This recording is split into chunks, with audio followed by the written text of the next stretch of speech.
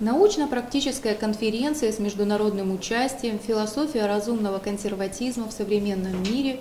Первые ионикиевские чтения» состоялась в Луганском государственном университете имени Владимира Даля 24 марта.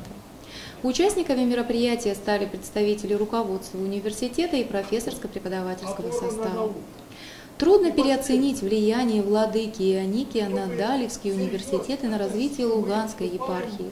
Это был великий человек, который не ведал усталости и создавал так много, что даже сейчас, в 2022 году, его невозможно предать забвению и оставить без внимания. Именно поэтому здесь, в старейшем университете Луганской Народной Республики, была основана традиция проводить ионикиевские чтения в память о всепреосвященнейшем Ионике. И сегодня, на мой взгляд, в тяжелейших условиях, в которых находится наша страна сегодня,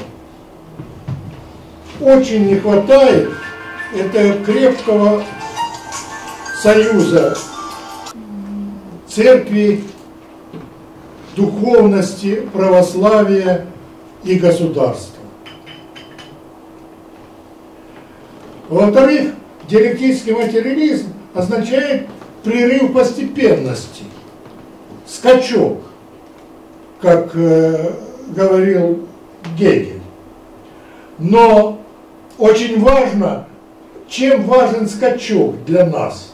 Потому что в этот период, когда расплавляются все связи привычные, человек может влиять на направленность развития это влияние на развитие очень важно не упустить.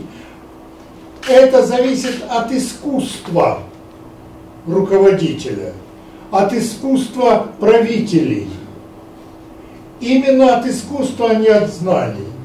Это талант из искусства увидеть эту возможность очень важен. И этот талант раз в сто лет рождается. Именно поэтому народ должен ценить своих вождей, в том числе и духовных вождей. Если посмотреть на историю России, кого мы помним, кто повлиял на развитие России, это выдающиеся личности, начиная от э, царей, помазанников Божьих и заканчивая э, выдающимися деятелями Русской Православной Церкви, как, например, Иоанн Кронштадтский. Сегодня в нашем стремительно изменяющемся мире роль философии и религии очень трудно переоценить, ведь именно они формируют у нас моральные ценности и ориентиры в жизни. Благодаря работам Всепреосвященнейшего Ионикия, которые теперь доступны в печатном издании, мы можем приобщиться к идеям владыки, благодаря которому в Далевском университете была открыта кафедра философии и теологии.